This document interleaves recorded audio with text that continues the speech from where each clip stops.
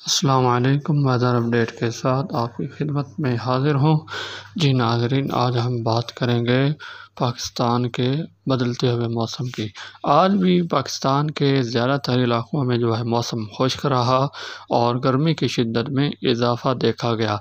तो आने वाले 24 घंटों के दौरान भी सुबह सिंध पंजाब बलूचिस्तान और के पी के के ज़्यादातर इलाकों में मौसम खुश्क होगा और धूप की जो शिद्दत है, उसमें इजाफ़ा होगा।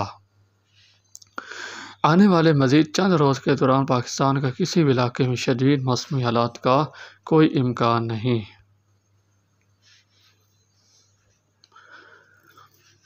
जहाँ तक ईद की बात है तो ईद से पहले पाकिस्तान के जो बेशतर इलाके हैं, इन इलाकों में मौसम खुश्क रहेगा।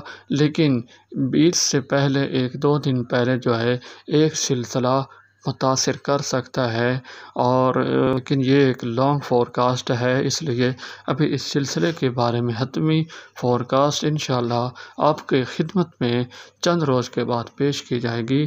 फ़िलहाल किसान अपनी फ़सलों को काट लें, यानी गंदम की जो फ़सल है, खेतों में पड़ी हुई है, उसकी कटाई शुरू कर दें और जहाँ पर अभी तक जो है गंदम तैयार नहीं हुई तो उनसे भी गुजारिश है कि जैसे ही गंदम तैयार हो तो अपनी फ़सल काट लें, क्योंकि बारिशों के सिलसिले मज़ीद आ सकते हैं। अप्रैल की आखिरी दस बारह दिनों में।